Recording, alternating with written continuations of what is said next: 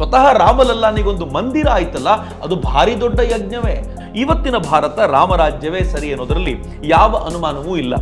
ರಾಜ ತನ್ನ ಮಂತ್ರಿಗಳೊಂದಿಗೆ ಮಾತನಾಡಿದಾಗ ಅದು ಮತ್ತೊಬ್ಬರಿಗೆ ಗೊತ್ತಾಗಬಾರ್ದು. ಏನ್ ಮಾತನಾಡಿದಾನೆ ಅಂತ ಯಾರಿಗೂ ಗೊತ್ತಾಗಬಾರ್ದು. ಮಿತ್ರ ಇವತ್ತಿನ ಭಾರತ ಹಂಗಿಲ್ವಾ?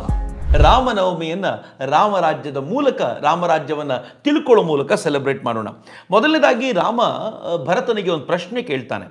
ನೀನು ನಿನ್ನ ರಾಜ್ಯದಲ್ಲಿ, ಅಯೋಧ್ಯೆಯಲ್ಲಿ ಯಜ್ಞಗಳಿಂದ ದೇವತೆಗಳನ್ನು, ಶುಶ್ರೂಷೆಯಿಂದ ಮಾತಾಪಿತೃಗಳನ್ನು ಭರಣ ಪೋಷಣಗಳಿಂದ ಭೃತ್ಯರನ್ನು, ನಮಸ್ಕಾರಗಳಿಂದ ವೃದ್ಧರನ್ನು ಮತ್ತು ಪಾರಿತೋಷಕಗಳಿಂದ ವಿದ್ವಾಂಸರನ್ನು ತೃಪ್ತಿಗೊಳಿಸ್ತಾ ಇದ್ದೀಯಾ ಅಂತ ಕೇಳ್ತಾನೆ. ಎಷ್ಟು ಚೆನ್ನಾಗಿದೆ ನೋಡಿ. ಯಾರ್ಯಾರಿಗೆ ಏನನ್ನು ಕೊಟ್ಟು ತೃಪ್ತಿ ಮಾಡಬೇಕು ಅಂತ. ಈ ಹಿನ್ನೆಲೆಯಲ್ಲಿ ಅವನು ಹೇಳಬೇಕಾದ್ರೆ ಬೇರೆ ಬೇರೆಯವ್ರಿಗೆ ಬೇರೆ ಬೇರೆ, ಆದರೆ ವೃದ್ಧರಾದವರಿಗೆ ಶ್ರದ್ಧೆಯಿಂದ ಒಂದು ನಮಸ್ಕಾರ ಸಮರ್ಪಿಸಿದ್ರು, ಅವ್ರಿಗೆ ಬಹಳ ತೃಪ್ತಿ ಆಗುತ್ತೆ ಅಂತ ರಾಮ ಹೇಳ್ತಾನೆ. ಇವತ್ತಿನ ಭಾರತ ಹೀಗಿದೆಯಾ? ಯಜ್ಞಗಳಿಂದ ದೇವತೆಗಳನ್ನು ತೃಪ್ತಿಪಡಿಸ್ತಾ ಇದ್ದೀವಾ ಅಂತ ಕೇಳಿದ್ರೆ, ಸುದೀರ್ಘ ಕಾಲದ ಹೋರಾಟದ ನಂತರ ಸ್ವತಃ ರಾಮಲಲ್ಲಾನಿಗೊಂದು ಮಂದಿರ ಆಯ್ತಲ್ಲ, ಅದು ಭಾರಿ ದೊಡ್ಡ ಯಜ್ಞವೇ. ಸಾಮಾನ್ಯವಾದ ಯಜ್ಞ ಅಲ್ಲ. ಇವತ್ತಿನ ದಿನಗಳಲ್ಲಿ ಯಜ್ಞ ಅಂದ್ರೆ ಹಳೆಯ ಕಾಲದಲ್ಲಿ ಹೇಗೆ ಮಾಡ್ತಿದ್ರು? ಹಾಗೆ ಮಾಡುವುದು ಒಂದಾದ್ರೆ ಇಡೀ ಭಾರತವನ್ನ, ರಾಷ್ಟ್ರವನ್ನ ಪರಂಪರೆಯ ಹಿನ್ನೆಲೆಯಲ್ಲಿ ಪುನರುಜ್ಜೀವನಗೊಳಿಸುವ ಪ್ರಯತ್ನ ಇದೆಯಲ್ಲ, ಅದು ಮಹಾಯಜ್ಞವೇ. ಸ್ವತಃ ರಾಮ ತೃಪ್ತಿಗೊಂಡಿರೋದು ಈಗ ಕಂಡು ಬರುತ್ತೆ. ಹೀಗಾಗಿ ಯಜ್ಞಗಳಿಂದ ದೇವತೆಗಳು ತೃಪ್ತಿಗೊಳ್ತಾ ಇದ್ದಾರೆ. ಶುಶ್ರೂತೆಯಿಂದ ಮಾತಾಪಿತೃಗಳನ್ನು ತೃಪ್ತಿಗೊಳಿಸ್ತಾ ಇದ್ದೀಯಾ ಅಂತ ಕೇಳಿದರೆ, ನೀವು ನರೇಂದ್ರ ಮೋದಿಯವರ ಬದುಕನ್ನು ನೋಡಿ, ಅವರ ತಾಯಿ ಹೀರಾಬೆನ್ ಬದುಕಿರುವಾಗ ಅವರು ಸಾಧ್ಯವಾದಷ್ಟು ಯಾವಾಗ ಯಾವಾಗ ಸಾಧ್ಯವಾಗುತ್ತೋ ಆಗಲೆಲ್ಲ ಅಮ್ಮನನ್ನು ಭೇಟಿ ಮಾಡಿ ಅವರಿಂದ ಆಶೀರ್ವಾದ ಪಡ್ಕೊಂಡು ಬರೋದನ್ನ ಸಮಾಜಕ್ಕೊಂದು ಮಾದರಿಯಾಗಿ ತೋರಿಸ್ತಾ ಇದ್ರು. ಬರೀ ಅವರು ತನ್ನ ತಂದೆ ತಾಯಿ ಅಷ್ಟೇ ಅಲ್ಲ, ಈ ದೇಶದ ಎಲ್ಲ ಹಿರಿಯರನ್ನ, ವೃದ್ಧರನ್ನ ಗೌರವದಿಂದ ನೋಡ್ಕೊಳ್ಳಿಕ್ಕೆ ಎಷ್ಟು ಪ್ರಯತ್ನ ಪಡ್ತಿದ್ದಾರೆ. ಇತ್ತೀಚೆಗೆ ಸಂಕಲ್ಪ ಪತ್ರದಲ್ಲಿ ಅವರ ಪ್ರಣಾಳಿಕೆಯಲ್ಲಿ ಒಂದು ಮಾತು ಹೇಳಿದ್ದಾರೆ. ಎಪ್ಪತ್ತೈದು ವರ್ಷ ದಾಟಿ ದಾಟಿರುವಂಥ ಪ್ರತಿಯೊಬ್ಬ ವೃದ್ಧರಿಗೂ ಕೂಡ ಆಯುಷ್ಮಾನ್ ಭಾರತ್ನ ಅಡಿಯಲ್ಲಿ ಚಿಕಿತ್ಸೆ ಕೊಡಿಸಲಾಗತ್ತೆ ಅಂತ. ಅಂದ್ರೆ ತಂದೆ ತಾಯಂದಿರನ್ನ ಈ ದೃಷ್ಟಿಯಲ್ಲಿ ನೋಡಿಕೊಳ್ಳುವ ಪರಿಕಲ್ಪನೆ ಇದೆಯಲ್ಲ, ಅದು ಇವತ್ತಿನ ಭಾರತದಲ್ಲಿದೆ. ಇನ್ನು ನಮಸ್ಕಾರಗಳಿಂದ ವೃದ್ಧರನ್ನು ಅಂತ ನೋಡುವಾಗ ನರೇಂದ್ರ ಮೋದಿ ಅವರ ಪಬ್ಲಿಕ್ ರ್ಯಾಲಿಗಳನ್ನು ನೀವು ನೋಡಬೇಕು. ನೀವು ಬೇರೆ ಬೇರೆ ಲೀಡರ್ಗಳನ್ನು ನೋಡಿ. ಅದು ರಾಹುಲ್ ಗಾಂಧಿ ಇರ್ಬೋದು ಅಥವಾ ಬಿ ಜೆ ಪಿಯವರೇ ಬೇರೆ ಲೀಡರ್ಗಳಿರ್ಬೋದು. ಆದರೆ ನರೇಂದ್ರ ಮೋದಿ ಅವರು ಬಂದಾಗ ಹಿರಿಯರ ಎದುರಿಗೆ ಅವ್ರ ತಲೆಬಾಗಿ ನಮಸ್ಕರಿಸುವಂಥ ರೀತಿ ಇದೆಯಲ್ಲ, ಅದೇ ಎಲ್ಲರನ್ನ ಸೆಳೆಯುವಂಥ ಅಪರೂಪದ ಸಂಗತಿ ಅಂತ ನನ್ಗನ್ಸತ್ತೆ. ಇನ್ನು ಕೊನೆಯದು ರಾಮ ಕೇಳ್ತಾನಲ್ಲ, ಪಾರಿತೋಷಕಗಳಿಂದ ವಿದ್ವಾಂಸರನ್ನ ನೀನು ಸಂತೃಪ್ತಿ ಪಡಿಸ್ತಾ ಇದ್ದೀಯಾ? ವಿದ್ವಾಂಸರಿಗೆ ಇನ್ನೇನು ಬೇಕಾಗಲ್ಲ.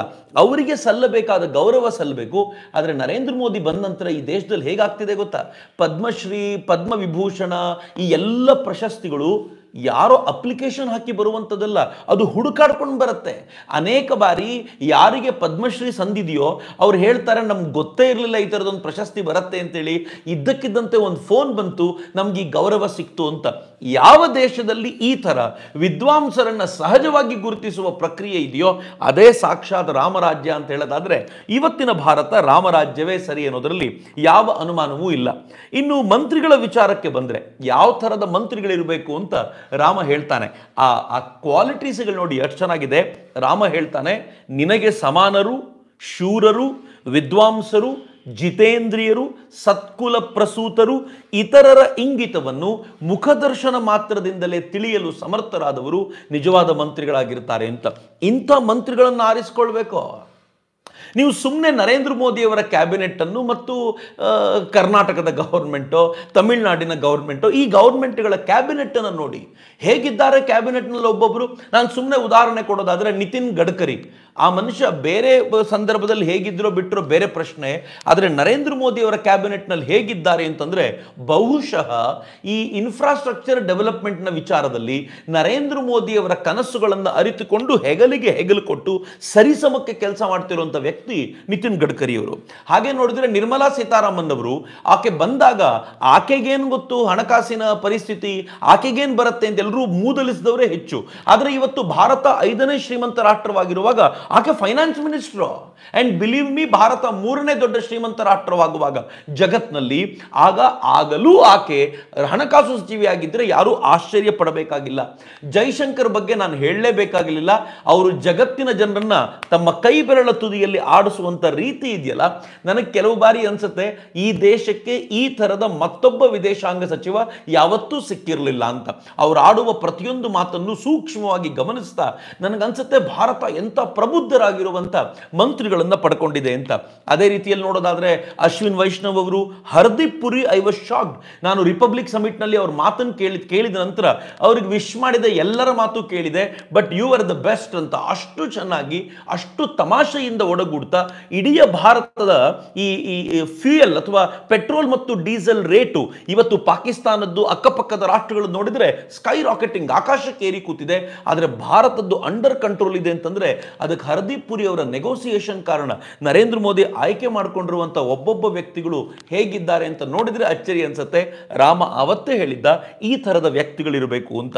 ಮುಂದುವರೆದ ರಾಮ ಹೇಳ್ತಾನೆ, ಇಂತಹ ನಿಷ್ಠಾವಂತ ಚತುರ ನೀತಿಶಾಸ್ತ್ರ ವಿಶಾರದ ಮಂತ್ರಿಗಳಿಂದ ಗುಟ್ಟಾಗಿ ಇಡಲ್ಪಡುವ ಮಂತ್ರಾಲೋಚನೆ ರಾಜರ ವಿಜಯಕ್ಕೆ ಕಾರಣವಾಗತ್ತೆ ಅಂತ.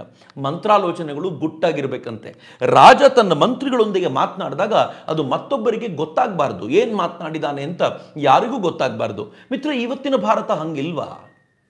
ನೀವು ಕರ್ನಾಟಕ ಸರ್ಕಾರದಲ್ಲಿ ಸಣ್ಣದ್ದೇನು ನಿರ್ಣಯ ತಗೊಳ್ತಾರೆ ಅಂತಂದ್ರು ಊರಿಗೆಲ್ಲ ಟಾಮ್ ಟಾಮ್ ಆಗ್ಬಿಡುತ್ತೆ, ಪತ್ರಕರ್ತರಿಗೆ ಗೊತ್ತಾಗುತ್ತೆ, ಯಾರು ಏನು ಅಂತೆಲ್ಲ ಅರ್ಥ ಆಗ್ಬಿಡುತ್ತೆ.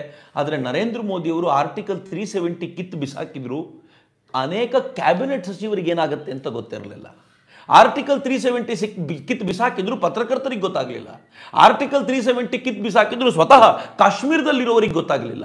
ಇಡೀ ಭಾರತವನ್ನ ಕೈ ಬೆರಳ ತುದಿಯಲ್ಲಿ ಇಟ್ಕೊಂಡಿದ್ದೀವಿ ಅಂತ ಅಮೆರಿಕ ಹೇಳ್ತಿತ್ತು, ಚೀನಾ ಹೇಳ್ತಿತ್ತು. ಅವ್ರು ಯಾರಿಗೂ ಗೊತ್ತಾಗದಂತೆ ಏಕಾಏಕಿ ಆರ್ಟಿಕಲ್ ತ್ರೀ ಸೆವೆಂಟಿ ಕಿತ್ ಬಿಸಾಕಿದ್ರಲ್ಲ. ಈ ಈ ಮಂತ್ರಿಗಳು ಮತ್ತು ರಾಜನ ಈ ಅದ್ಭುತವಾಗಿರುವಂಥ ಸಂಬಂಧ ಅಂದ ಅನ್ಸೋದಿಲ್ವೇನು? ಇದು ನರೇಂದ್ರ ಮೋದಿ ಮಾಡಿರುವಂಥ ಒಂದು ಅಪರೂಪದ ಕೆಲಸ ಅಂತ.